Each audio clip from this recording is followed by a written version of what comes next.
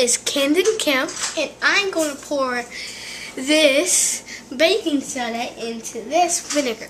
We got this science experiment from Whiz Kids Science. I will put a link to the channel and to this particular experiment below, which is called a um, carbon dioxide blowing up the balloon. So that's what we are doing today. We have already followed the directions, and we're going to go ahead and see if it works. Are you ready? Mm -hmm. So in our balloon, what's inside the balloon? In our balloon, we have baking soda. Okay. And in this bottle, and in this bottle, water bottle, mm -hmm. we have vinegar. Alrighty. So what he's going to do is he's going to start pouring it into the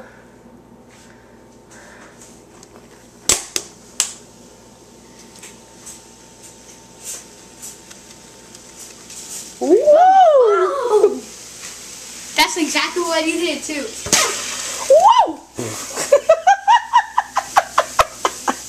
well, it worked. Thanks for watching.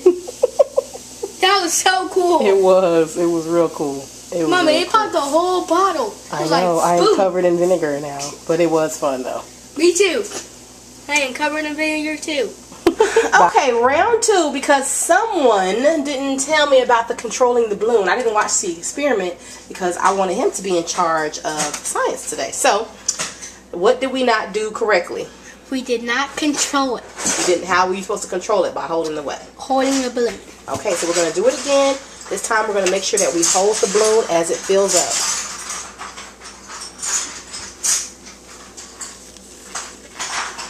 Hold the balloon. Two hands, two hands, two hands. There we go. Now we see it's going correctly, just like it did. No, it's cold. It's cold. Okay, let's hurry. Keep going. No, no, with. keep going. It's cold.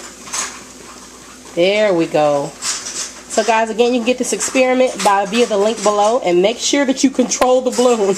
Even though it was fun having the everything blow up, that was really fun. We like stuff to blow up. Perfect. Perfect. Perfect. Good job, man. All right, guys, you have a good day. Happy homeschooling.